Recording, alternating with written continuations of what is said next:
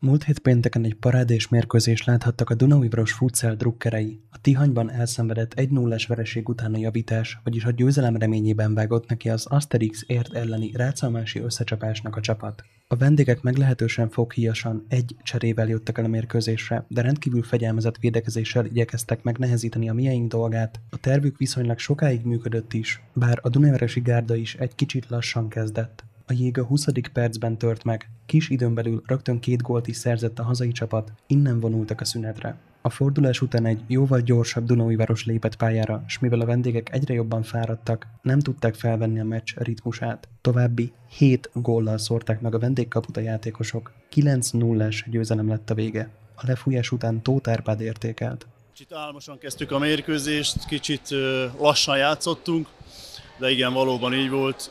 Az első gólig úgymond nehéz volt, szerencsére a második is hamar jött, ugye a fél idő előtt, a másik fél időben azt gondolom elfáradt az ellenfél, és, és maga biztos győzelmet arattunk. A játékosok sikerre éhesen léptek pályára. Egyértelmű cél, hogy megnyerjék az alsóházat, és bár a tihanyi vereségbe csúszott, ennek ellenére minden mérkőzést meg akarnak nyerni. Varga Milán szerint is ez egy kötelező győzelem volt. Sajnos hétfőn Tihanyba kikaptunk egy nullára, és mindenképpen szerettünk volna javítani. Ö, hazai pályán semmi más nem lehetett a célunk, mint hogy, hogy nyerjünk, akárhogyan is, de nyerni kellett. Ez kötelező győzelem volt. Pribék Tamás is pályára lépett. A fiatal tehetség az együttes saját nevelésű játékosa. Először szerepelt a felnőttek között. Elmondása szerint izgult, de azért jól sikerült a bemutatkozás. Őszinte ezek először is nagyon szépen köszönöm.